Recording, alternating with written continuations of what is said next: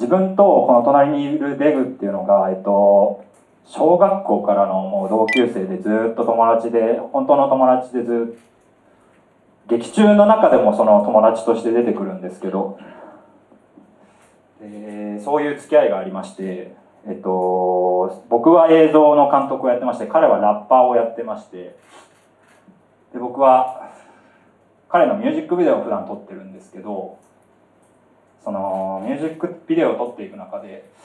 なんかデブにずっと疑問があってなんでしょうね。あのなんだか正直に生きれてるかとかすごく自分でも考えることが多いんですけどすごく僕と違って笑ってごまかすタイプというかデグデグデグが。それに少しだけ疑問があったんですけどそれが良さだなと思って全然尊重して29歳今29歳なんですけど29年間過ごしてきたんですけどどうしてもなんかずっと疑問だったものが、まあ、ちょっとこのこの後映画の中に出てくることにはなるんですけどちょっととあることに自分が目の当たりにしてすごくすごく辛い状況でも必死に笑うデグラを見たんですよねなんか。なんかその姿がすごく感動してしまってああなんか僕はなんか僕はすごく感動させてもらったから僕は映画をもらったものを返そうっていう気持ちもあってこの映画を撮ろうって思ったのが経緯ですね。脚本読んだ時はですねただただきちーって感じでしたね。本当に。読むのもきついしいやーこれやんのかってでさっき片山さんもおっしゃってましたけど、まあ、フィクションも織り交ぜながらなんですけど、まあ、ほぼ実際話した話実際起きた話をちょっとちょっと変えてるみたいな感じだったんで。えこの時お前らそんなこと思ってたんだみたいな感じで結構きつかったですね。まあそうか。そうですよね。言わなかったことも全部書いてるのでそれはやっぱそうか。その辺はやっぱりきついっすよね。確かに。マジきつかったですね。そうね。見てもらいたいところか。えっ、ー、ととにかく自分を見てください。それだけです。はい。あのー、そうですね。あのー、まあいろんな今向かい風が吹きまくってる昨今。あのたまたまこの映画も「追い風」というタイトルですが多分僕はすごく向かい風の映画だと思っているので。でもなんかその僕もいろんなところでちょっと書いちゃったりしてるかもしれないですけどなんかすごく心地いい追い風が吹く瞬間がやっぱりあってなんかああ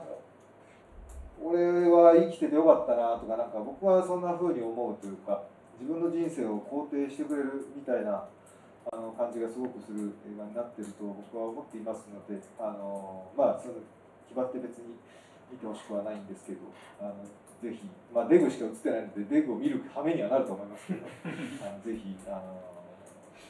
デグラという人間をあの見ていただけたらなと思います。はい、追い風はえっともうそもそも作った理由が、うん、デグの追い風になってほしいって僕はずっと思ってて。でデグの追い風に追い風なんかデグがうまくいったら僕の人生もうまくいくなって思ってだからそしたら片山さんも僕は一緒にやってるのでうまくいくなと思ってきて。で仲間とやるっていうことはすごくずっと考えてきたことで。なかなかなかなかそうですね。と なかなかどんどんどんどん離れていく人もいるしすごく考えることがあって。今なんでしょうね。追い風に移ってることはまあもう1年前のことでいろいろあって、まあ、デブと自分もいろいろ進んでていろんなことが進んでて会えない人も出てきたり。だからでも追い風は追い風なんですよね。追い風を吹かせたくて。だから劇場も今すごくコロナとかそういうことでいろいろなことがあるんですけど僕は今ここのタイミングで夏にやるって絶対に決めたんでもうなんかそこは逃げたくなくて。だからずっとずっとここまでは不安だったんですけどうん。でもなんか追い風を見た後はすごくこれからのことを考えられる映画だと思ってますんでだから一緒に映画見て追い風を見てもらってなんかお客さんもですけど映画館のこともこれからのことも自分たちのこともですけどずっとこれから多分これからを迎えるのは僕らだから今いる僕らだからだからデグに追い風を一緒にもらいましょうって思ってます。すいませんなんか脱線なんかわかんない大丈夫直進してた。大丈夫直進しかしてないよ。大丈夫だよ。